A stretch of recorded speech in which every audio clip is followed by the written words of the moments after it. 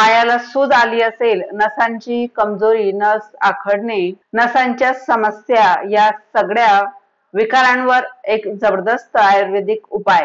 हातापायाला सूज आली असेल किंवा नसांचं आखडणं नस दुखणे नसांची कमजोरी हे चुटकीत बरी होईल. इतका जबरदस्त उपाय आज आपण बघणार आहोत. तर बघा फ्रेंड्स अशा पद्धतीने पायांना सूज येते. बऱ्याच जणांची पाय अगदी असे टोम फुगून जातात किंवा हातांनाही सूज येते.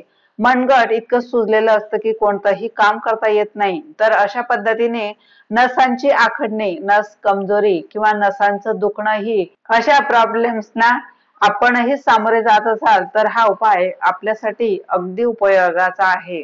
तर बघा फ्रेंड्स अशा पद्धतीने हे जे दुखणं आहे ते असं दुखणं आहे की ते कोणालाही दिसत नाही. आणि ज्याला दुखणं असतं त्यालाच कळतं की काय वेदना होत असतात. तर अशी हातापायांची हालचालही होत नाही अशा पद्धतीने हे आपले पाय असे टुम झालेले असतात आणि हातही फुगलेले असतात.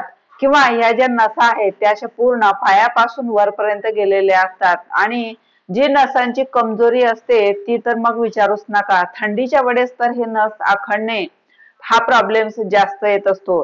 रात्रीच्या वेळेस तर भर झोपेमध्ये ही जर नस ओढली गेली किंवा आकसली गेली तर हा त्रास प्रचंड होत असतो. आणि हा त्रास असा आहे जो आपल्या कोणालाही दिसत नाही. आजचे हे दोन तीन उपाय अगदी जबरदस्त आहे. हा जर उपाय तुम्ही फक्त दोन दिवस करून घेतला तर लगेच तुम्हाला आराम मिळेल. त्यातला एक पहिला उपाय म्हणजे आपण एका भांड्यामध्ये अर्धा ग्लास पाणी घ्यायचं आहे आणि त्यामध्ये एक मूठ कोथंबीर टाकायची आहे. हे कोथिंबीरीची पानं आपण पाच ते दहा मिनिटं खळखळून या पाण्यामध्ये उकळून घ्यायचं आहे. आणि हे जे पाणी आहे ते पाणी दोन दोन चमचे औषधाप्रमाणे दिवसातून दोन तीन वेळेस आपण घ्यायचं आहे. हे पाणी जे आहे हे हिरवे पालेभाजीचं जे पाणी असतं याने आपल्या शरीराला आयरन मिळत असतं. विटॅमिन्स प्रोटीन्स असे वेगवेगळे घटक आपल्या शरीराला मिळत असतात. आणि ह्या ग्रीन व्हेजिटेबलचं पाणी अत्यंत गुणकारी असतं. याने आपलं पोट साफ होत असतं. आपले वात दोष जे असतात ते कमी होत असतात. त्यानंतर दुसरा उपाय म्हणजे काकडी आणि लिंबूच्या अशा बारीक स्लाइस आपण करून घ्यायचे आहेत. आणि हे जे काकडी आणि लिंबू आहे हे आपण एका ग्लासमध्ये किंवा बॉटलमध्ये काचेच भांड घ्यायचं आहे. या भांड्यांमध्ये आपण पाच सहा तासांसाठी ही काकडी आणि लिंबू कापून पाणी टाकून ठेवायचं आहे. आणि हे पाणी पाच सहा तास तसंच राहू द्यायचं आहे. त्यानंतर पाच सहा तासानंतर हे पाणी आपण प्यायचं आहे. या पाण्याला डिटॉक्स वॉटर असं म्हटलं जातं. या पाण्याने आपल्या शरीरातील जे दूषित घटक आहेत सहजासहजी निघत नसतील तर ते दूषित घटक आपल्या मूत्राद्वारे निघत असतात.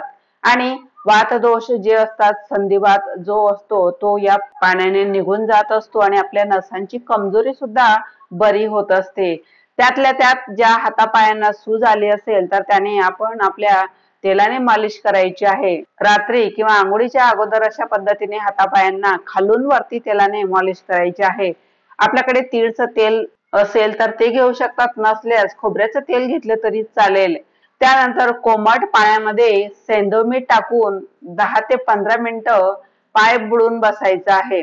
हाताचं दुखणं असेल तर हात सुद्धा तुम्ही या पाण्यात बुडवू शकतात.